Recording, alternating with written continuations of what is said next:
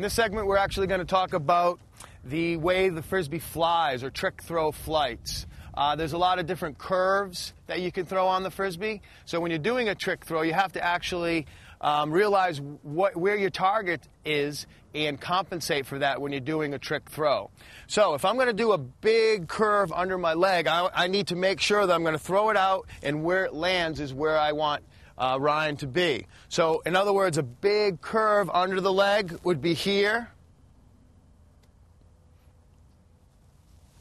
A big curve under the other leg would be here. And when you're actually throwing it upside down, you have to compensate on where the frisbee is going to fly and where it's going to end up. So you're throwing the hammer shot, you actually have to compensate on where the frisbee is going to come down. So the frisbee is going to come down more to the right, so I want to throw it to the left.